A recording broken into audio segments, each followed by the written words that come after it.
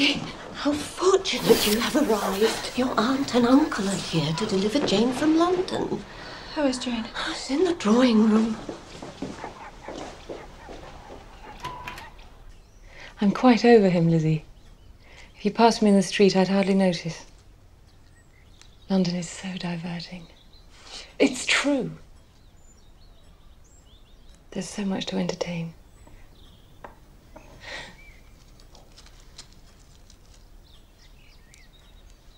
What news from Kent? Nothing. At least not much to entertain. Lizzie, tell them what, tell her! Oh, Kitty, stop making such a fuss. She asked me as well. She probably can't afford it. Some better company. Kitty, what's the matter?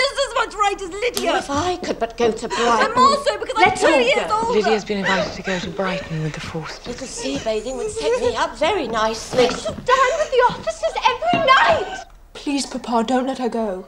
Lydia will never be easy until she's exposed herself in some public place or other, and we can never expect her to do it with so little inconvenience as under the present circumstances. If you, dear father, do not take the trouble to check her, she will be fixed forever as the silliest and most determined flirt who ever made her family ridiculous. And Kitty will follow, as she always does. Lizzie, we shall have no peace until she goes. Peace? Is that really all you care about? Colonel Forster's a sensible man.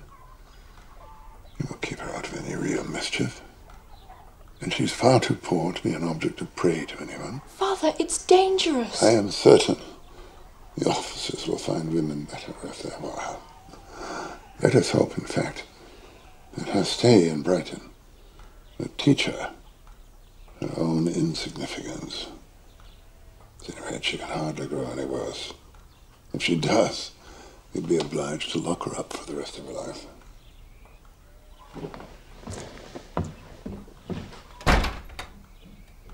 Um,